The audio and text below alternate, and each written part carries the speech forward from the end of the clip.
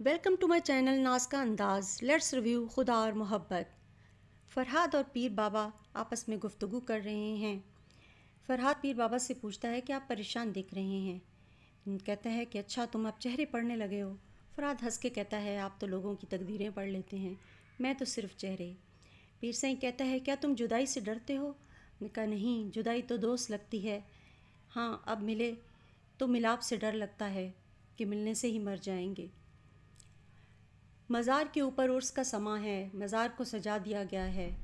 लोगों में खुशी का समा है और लोग महफिल समा में, आपस में जो है वो नाते पढ़ रहे हैं और दिखाया जाता है कि लोग धमाल डाल रहे हैं और लंगर की तकसीम हो रही है और लोग दुआएँ मांग रहे हैं और बहुत ही ज़्यादा रश है मज़ार के ऊपर।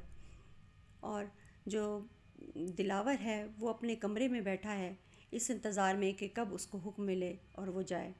नूरा आता है और दिलावर को कहता है कि चल दिलावरे, टाइम आ गया है अपनी वफ़ादारी साबित करने का। वो उसको एक चाकू देता है। तो दिलावर कहता है कि, चाकू क्यों? मेरे पास पिस्तौल है ना? तो नूरा कहता है कि हाँ तुम्हारे पास पिस्तौल है, लेकिन पिस्तौल की आवाज़ सुनाई देगी। ये काम तुम चुपके से करना और उसे चाकू मार के, ख़त्म करके वहाँ से निकल आना। दिलावर रवाना हो जाता है और मज़ार के ऊपर उस रश में पहुँच जाता है। पीर बाबा भी धमाल डाल रहे हैं और पीर बाबा उसी वक्त ही धमाल डालते हैं जब कोई अनहोनी होने वाली होती है। बहुत ही ज़बरदस्त और मगन है धमाल डालने में। दूसरी तरफ़ फरहाद जो है, वो लंगर तकसीम कर रहा है लोगों में। लोगों से मिल रहा है, बहुत ही रश है और उसमें वो लंगर तकसीम कर रहा है। दिलावर पहुँच जाता है मज़ार के ऊपर और मज़ार के अंदर जाता है, दुआ करता है और निकल आता है। फरहाद को दिखाया गया है कि वो लोगों से मिल रहा है और एक एक को अपने हाथ से खाना तकसीम कर रहा है।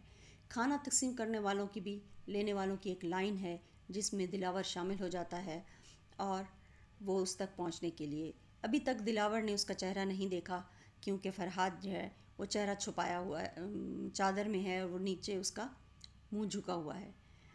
दिलावर पहुँचता है और चाकू निकाल लेता है और जैसे ही फ़रहाद ऊपर होता है, वो चाकू उसके पेट में घुसेड़ देता है। माही सोते में अचानक हड़बड़ा के उठ बैठती है और परेशान हो जाती है कि ये क्या हो गया? उसको कोई ख्वाब आता है। और वो बहुत ही परेशान होती है। अंधेरा कमरा है और परेशान और घबराई हुई है। और जैसे ही फरहाद अपना चेहरा ऊपर करता है और देखता है तो एक मुस्कुराहट उसके चेहरे पे आती है क्योंकि वो दिलावर को पहचान जाता है। दूसरी तरफ़ दिलावर चीख मारता है, ओह, फीदी बहू है ये तो। माँ जी को पता चलता है जगीरदारनी को और सिकंदर साई को। तो वो वहाँ से भागते हैं फरहाद की तरफ़। और पीरनी नूरा आता है और कहता है कि हमने उसे मार दिया था, लेकिन वो बच गया है। और सिकंदर जो है, उसको लेकर हॉस्पिटल आता है दिलावर के साथ। फ्लैशबैक आ रहे होते हैं माही को। कि कैसे ही फरात ने कहा था कि मैं मौत से नहीं डरता, मैं तुम्हारी जुदाई से डरता हूँ। उसे याद आता है कि उसने हर तरह से उसे डराने की कोशिश की थी कि वो चला जाए, लेकिन वो नहीं डरा था। और जगीदारनी जी आती हैं उनके झवेली में और कहते हैं कि शायद सिंह आप लोग एक मज़लूम पे इतना बड़ा जुल्म कैसे कर सकते हैं? मैं सोच भी नहीं सकती थी कि शाह पीरों का घराना किसी नहते पे वार कर सकता है। तो उसकी बीवी कहती है कि आप मत भूलें कि आप हमारी छत के नीचे खड़ी हैं। तो वो कहते हैं, मैं ये कैसे भूल सकती हूँ कि आपकी शान शौकत किसी के खून में रंगी हुई है? आप अपने बेटे को रोक ही नहीं सके कि उसने कल रात, उसके करिंदे ने कल रात फरहाद के सीने में खंजर घोंप दिया है। ये सुन के सब हैरान, परेशान रह जाते हैं। और माही, जो ये बात सुन रही होती है उससे ये बात बर्दाश्त नहीं होती। और वो बेहोश हो जाती है।